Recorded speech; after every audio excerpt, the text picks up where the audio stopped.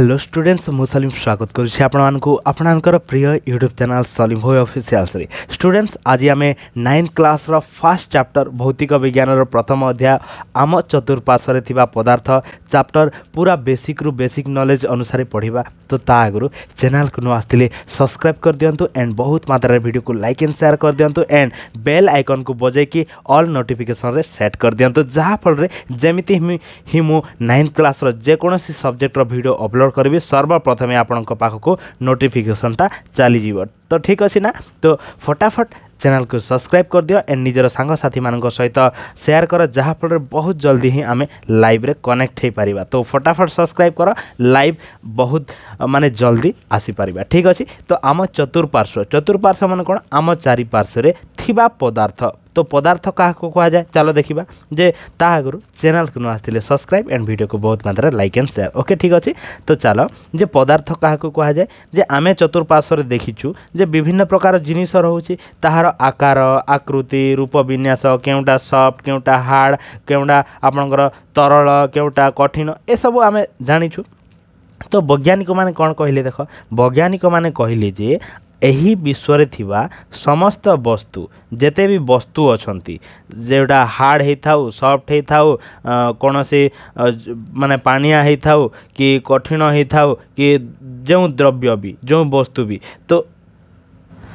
ତ ଯେମିତି ବି ହେଇଥାଉ ତ ସେ ଯେଉଁ ବସ୍ତୁ ଯେଉଁ ଦ୍ରବ୍ୟକୁ ନେଇ ଗଢ଼ା ଯେଉଁ ଦ୍ରବ୍ୟକୁ ନେଇ ଗଢ଼ା ତାହାକୁ ବୈଜ୍ଞାନିକମାନେ ପଦାର୍ଥ ଭାବେ ନାମକରଣ କରିଛନ୍ତି କ୍ଲିଅର୍ ନା ତ ଆମେ ଜାଣିଲୁ ଯେ ଆମ ବିଶ୍ୱରେ ଯେତେ ବି ବସ୍ତୁ ଅଛନ୍ତି ସେଇ ଯେଉଁ ବସ୍ତୁ ଯେଉଁ ଦ୍ରବ୍ୟକୁ ନେଇ ଗଢ଼ା କେଉଁଟି ମାଟିରୁ ତିଆରି କେଉଁଟା ଆମର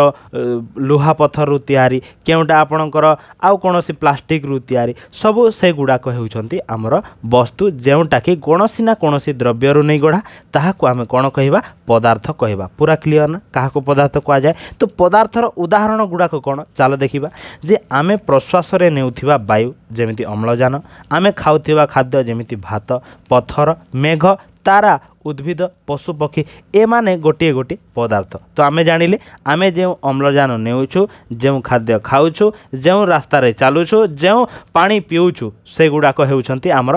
ପଦାର୍ଥ ପୁରା କ୍ଲିଅର୍ ପଦାର୍ଥ କ'ଣ ଏବଂ କାହାକୁ ପଦାର୍ଥ କୁହାଯାଏ ଏବଂ ପଦାର୍ଥର ଉଦାହରଣ ପୁରା କ୍ଲିଅର୍ ନା ପସନ୍ଦ ଆସୁଥିଲେ ଭିଡ଼ିଓ ଲାଇକ୍ ଆଣ୍ଡ ସେୟାର କରିଦିଅ ଠିକ୍ ଅଛି ତ ଆମେ ଜାଣିଲୁ ଯେ ଜଳବିନ୍ଦୁରୁ ନେଇକି ବାଲିର ଏକ କ୍ଷୁଦ୍ର କଣିକା ମଧ୍ୟ ପଦାର୍ଥ ଅଟେ ତ ଏଇ ଯେଉଁ ଆମେ ପଦାର୍ଥ ବିଷୟରେ ଜାଣିଲେ ତ ଏବେ ଆମେ ଜାଣିବା ଯେ ପଦାର୍ଥର ତା'ର ଭୌତିକ ଧର୍ମ ଗୁଡ଼ାକ କ'ଣ ଅଛି ଚାଲ ଯେ ଉପରେ ଦର୍ଶାଯାଇଥିବା ପ୍ରତ୍ୟେକ ଜିନିଷ ଅଥବା ଆମ ଚାରିପାଖରେ ଥିବା ସମସ୍ତ ବସ୍ତୁ କିଛି ନା କିଛି ସ୍ଥାନ ଅଧିକାର କରିଥାଏ ଯେହେତୁ ଗୋଟିଏ ପଦାର୍ଥ ଗୋଟିଏ ବସ୍ତୁ କିଛି ନା କିଛି ତ ସ୍ଥାନ ଅଧିକାର କରିବ ହିଁ ଯେମିତି ମୁଁ ଏବେ ବସିଛି ଏ ମୋ ପାଖରେ ଫୋନ୍ ଅଛି କିମ୍ବା ମୋ ପାଖରେ ସେ ମାଇକ୍ରୋଫୋନ୍ ଅଛି ସେ ଗୋଟେ ବସ୍ତୁ ସେ ଗୋଟେ ପଦାର୍ଥ ସେଇଥିପାଇଁ ସେ କ'ଣ କରୁଛି ଗୋଟେ ସ୍ଥାନ ଅଧିକାର କରୁଛି ତ ଏହାର ମଧ୍ୟ କିଛି ବସ୍ତୁତ୍ୱ ରହିଥାଏ ତ ସମସ୍ତଙ୍କର କିଛି ବସ୍ତୁତ୍ୱ ମାନେ କ'ଣ ୱେଟେଜ୍ ଯେମିତି ମୋର କେତେ ସିକ୍ସଟି ଫାଇଭ୍ କିଲୋ ନା କାହାର ସେଭେଣ୍ଟି ଫାଇଭ୍ କିଲୋ ନା କୌଣସି ମାନେ ଗୋଟେ ପଥରର ଓଜନ ଦଶ ଗ୍ରାମ ତ ସେଇଭଳିଆ ତ କିଛି ନା କିଛି ବସ୍ତୁତ୍ୱ ଥାଏ ଏବଂ କିଛି ନା କିଛି ସେ ସ୍ଥାନ ଅଧିକାର କରେ ତ ଏଇଟା ହେଉଛି ଆମର ପଦାର୍ଥର ଧର୍ମ ଅନ୍ୟ ଅର୍ଥରେ କହିଲେ ପ୍ରତ୍ୟେକ ପଦାର୍ଥର ଉଭୟ ବସ୍ତୁତ୍ୱ ଓ ଆୟତନ ଅଛି ତ ଆମେ ଜାଣିଲୁ ଯେ ତାହାର କିଛି ବସ୍ତୁତ୍ୱ ଅଛି ଏବଂ ତାର ତାର କିଛି ଆୟତନ ମଧ୍ୟ ଅଛି ପୁରା କ୍ଲିଅର୍ ନା ପୁରା କ୍ଲିଅର୍ ନା ପସନ୍ଦ ଆସୁଥିଲେ ଭିଡ଼ିଓକୁ ଲାଇକ୍ ଆଣ୍ଡ ସେୟାର ଆଣ୍ଡ ଚ୍ୟାନେଲ୍ରେ ନୂଆ ଥିଲେ ସବସ୍କ୍ରାଇବ୍ ଠିକ୍ ଅଛି ଚାଲ ନେକ୍ସଟ ପଢ଼ିବା ଆମେ ତ ଆଦିମ କାଳରୁ ମନୁଷ୍ୟ ସର୍ବଦା ତାହାର ଚତୁଃପାର୍ଶ୍ୱକୁ ବୁଝିବା ପାଇଁ ଚେଷ୍ଟା କରି ଆସୁଛି ଏବଂ ଇଭିଏସ୍ ପଢ଼ୁଛି କ'ଣ ପଢ଼ିଥାଏ ଇଭିଏସ୍ ଏନଭାୟରମେଣ୍ଟାଲ୍ ସାଇନ୍ସ ଆପଣମାନେ ଜାଣିଥିବେ ଇଭିଏସ୍ କ'ଣ ତ ପ୍ରାଚୀନ କାଳ ପ୍ରାଚୀନ ଭାରତୀୟ ଦାର୍ଶନିକମାନଙ୍କ ମତରେ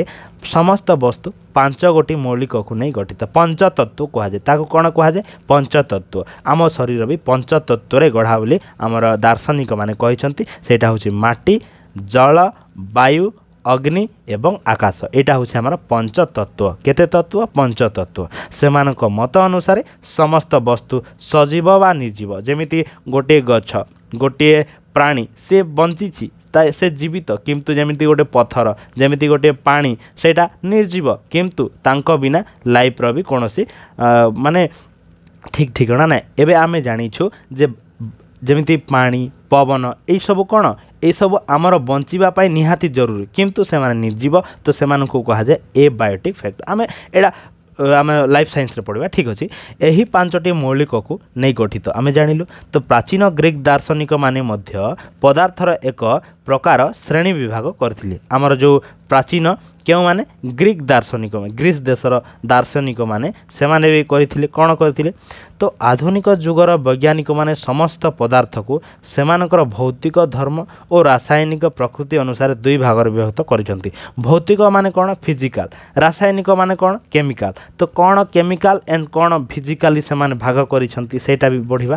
ଏହି ଅଧ୍ୟାୟରେ ଆମେ ପଦାର୍ଥର ଭୌତିକ ଗୁଣ ସମ୍ପର୍କରେ ଜାଣିବା ଖାଲି ଫିଜିକାଲ ফিজিক্যাল মানে কোণ উপর উপর বডি কেমিতি তৈরি হয়েছি নাক চেপেটা না আখি সরু না টেরা সে বিষয়ে আমি গোটিয়ে পদার্থর তার গোলাকৃতি না লম্বাকৃতি না চেপটা সবু জাঁয়া ঠিক আছে এ চ্যাপ্টরে আউ ରାସାୟନିକ ଗୁଣ କେଉଁ ଚାପ୍ଟରରେ ପଢ଼ିବା ପରବର୍ତ୍ତୀ ଅଧ୍ୟାୟମାନଙ୍କରେ ଆଲୋଚନା କରିବା ଠିକ୍ ଅଛି ପରବର୍ତ୍ତୀ ଅଧ୍ୟାୟରେ ଆଲୋଚନା କରିବା ପସନ୍ଦ ଆସିଛି ନା ଭିଡ଼ିଓ ପସନ୍ଦ ଆସିଥିଲେ ବହୁତ ମାତ୍ରାରେ ଲାଇକ୍ ଆଣ୍ଡ ସେୟାର କରିଦିଅ ତ ଚାଲ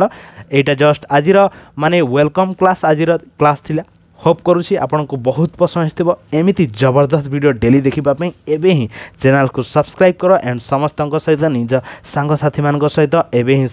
ସେୟାର କରିଦିଅ ଆଣ୍ଡ ବହୁତ ମାତ୍ରାରେ ସବସ୍କ୍ରାଇବ୍ କରିକି ମୋ ସହିତ କନେକ୍ଟ ହୋଇଯାଅ ଯାହାଫଳରେ ବହୁତ ଜଲ୍ଦି ଆମେ ଲାଇଭ୍ରେ କନେକ୍ଟ ହୋଇପାରିବା ତ ହୋପ୍ ୟୁ ଷ୍ଟୁଡେଣ୍ଟସ୍ ଆପଣଙ୍କୁ ବହୁତ ପସନ୍ଦ ଆସିଥିବ ଚାଲ ନେକ୍ସଟ କ୍ଲାସ୍ରେ ଦେଖା ହେବା okay have a good day thanks for watching